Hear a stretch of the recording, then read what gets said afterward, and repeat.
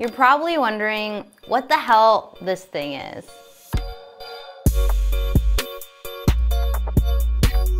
What up AFAM, Kitty here with the Tola Visuals. And right here is the Snopa, Snoopa, Snopa, Snappa. I'm gonna call it the Snoppa M1.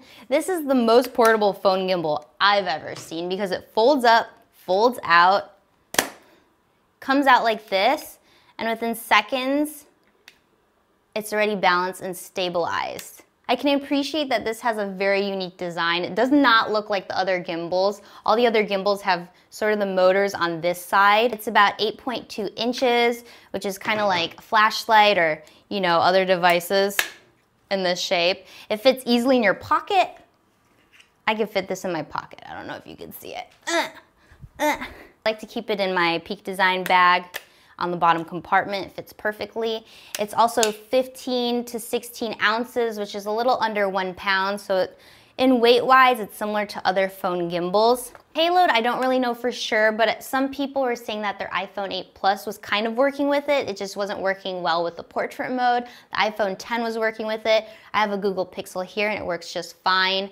The battery is rechargeable via USB, but it's permanent, so you can't replace it with other batteries. And the battery life itself is four hours. It's not great, but I've never had it die on me yet. And then there's only this one button here to change modes, turn it on, turn it off. So another thing that it comes with is its own counterweight.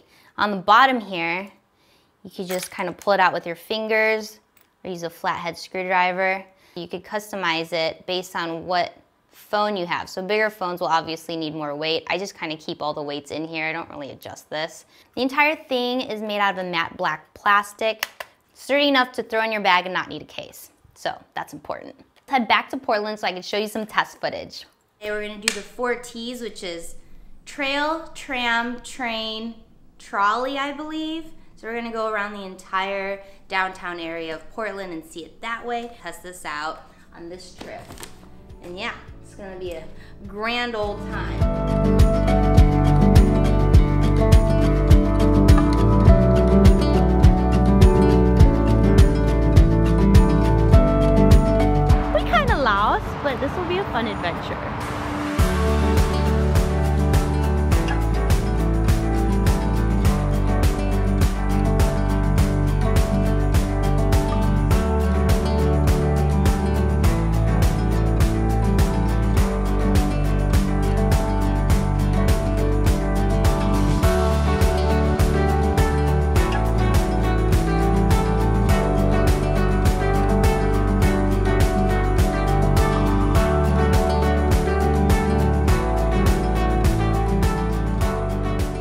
It up, you just put your phone in the middle, as close to the middle as you can. Pull it out, double tap like you would with any DJI drone product and it'll just turn on. So to change the positions on this gimbal, it's very hands-on. If you want, this is horizontal mode by the way. If you want to get into portrait mode, you just kind of grab it, flip it around like so. You can Snapchat, IG stories. If you want to exit this mode, you just flip it around you need to do it on the other side, same thing. Grab the top, hold it steady for a few seconds. Magic. They also have this inverted mode, which they like to call the underslung mode. It's a funny name. You just take the top again, flip it all the way around, and now you can get those low angles.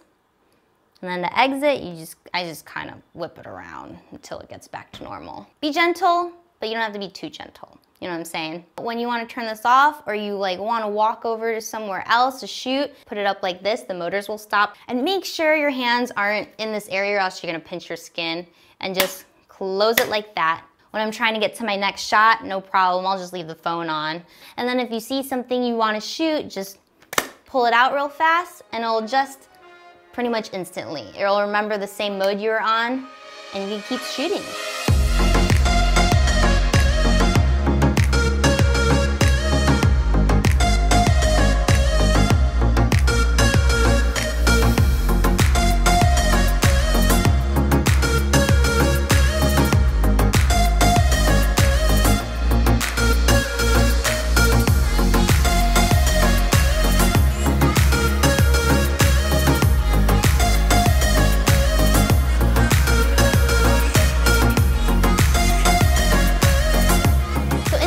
Box when you first get it. It's kind of interesting packaging. You have to rip around the box. And the first thing you see is the quick setup instructions and then the gimbal itself is inside this gray styrofoam which I think needs a little bit more refining, but it doesn't really matter since you won't need a case, you could just throw this out. This comes with the gimbal, of course, extra counterweight, and a USB cable, and that's about it.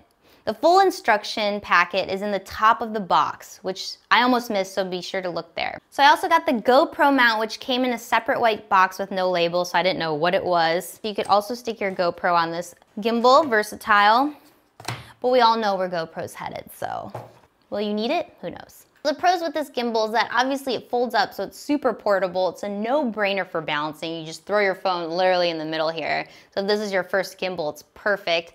No learning curve here. It's easy setting up and breaking down. Also, if you want to include a mic on your phone, there's nothing interfering with the ports here. Unlike, I think the Osmo Mobile will block your mic jack, this one clearly does not. And I think the last pro is that the design is cool. It's just different from all the rest. There's no motors on this side, so it's pretty easy to just throw in a pocket. You could also use their free Snoppa app. I got it working here on the Android. I'm pretty sure it's on iOS as well. You can record video on here, change the gimbal modes, update firmware, and change the resolution. A couple of cons, this outer handle plastic is too thin and it's kind of creaky. You also can't mount this on a tripod, even though there's a tripod mount on the bottom to screw it in. So you gotta keep it on this 60 degree to 45 degree angle here. That's where it likes it best. Woo! And it doesn't take phone cases, and that's why.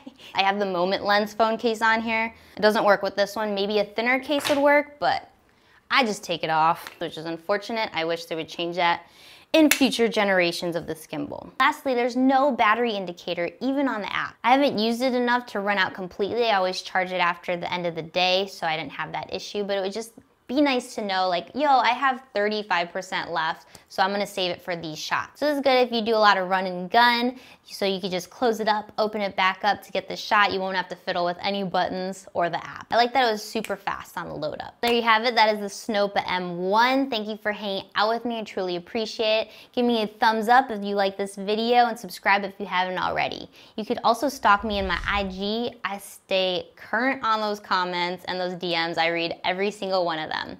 So until next time, I'll see you when I see you. You do you, fam. Mm, done. I really like doing this. This is fun. Yeah, there's fingerprints. Don't want to look like a scrub on camera now, do we? So that is that. What is happening? I don't know. This thing's all fucked up. Finally. We're tourists. We don't know.